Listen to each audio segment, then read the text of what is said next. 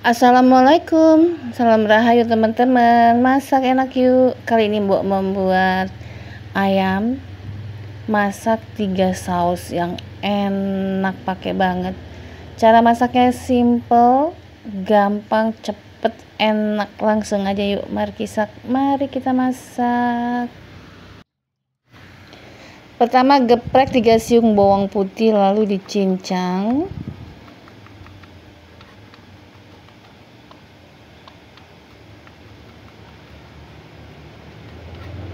lalu geprek tiga ibu jari jahe belah dua seperti ini ya.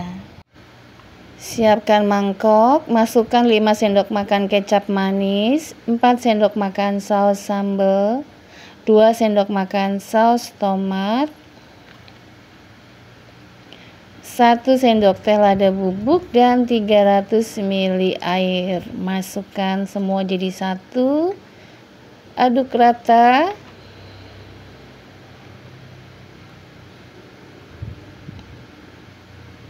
sisihkan dulu ya. Lanjut 1 kg ayam yang sudah dicuci bersih masukkan 1 bungkus bumbu marinasi tambahkan 3 sendok makan tepung maizena lalu aduk rata. Nah ini karena basah ya sudah dicuci jadi tidak perlu pakai air tapi kalau ayamnya kering tambahkan kira-kira 3 sendok makan air ya Aduk rata tepung maizena, ayam dan bumbu marinasinya. Bumbunya bisa apa aja ya, pakai ayam e, bumbu ayam goreng, bumbu ikan goreng, tempe goreng, bumbu racik, bumbu apa boleh.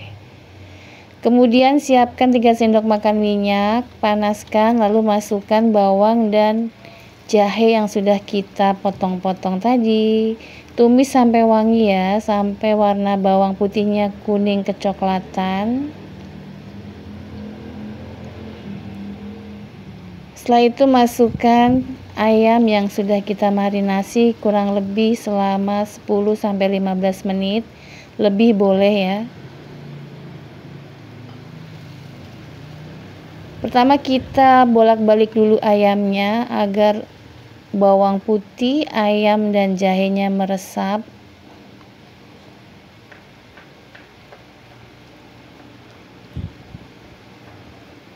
kita balik ya kita bolak-balik agar matangnya merata.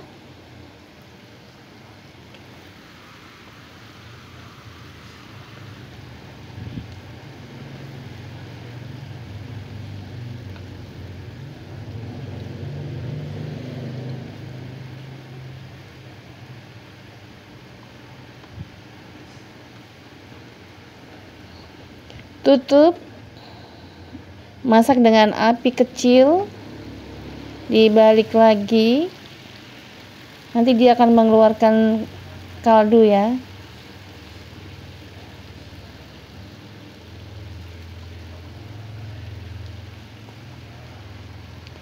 Tutup lagi masak lagi api kecil.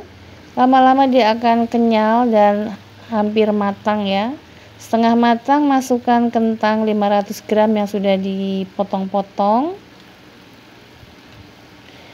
Aduk biar aroma bumbunya menyebar. Kemudian masukkan di itu bumbu yang sudah kita siapkan tadi ya. Aneka saus dan air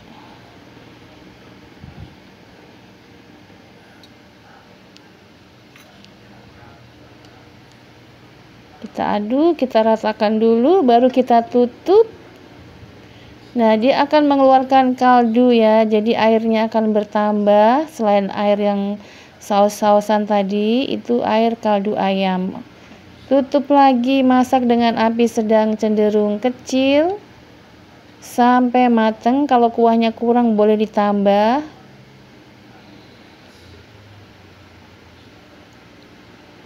kita tutup lagi agar benar-benar matang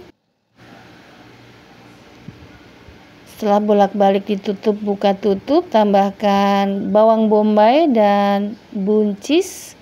Aduk sebentar kurang lebih 2 menit ya. Tutup lagi 2 sampai 5 menit. Sampai buncisnya mateng layu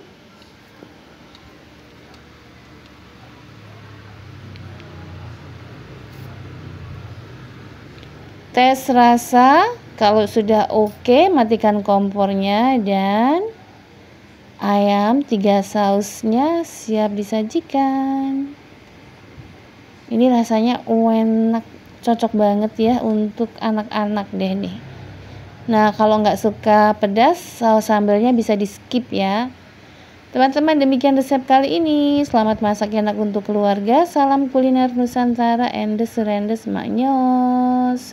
Selamat mencoba.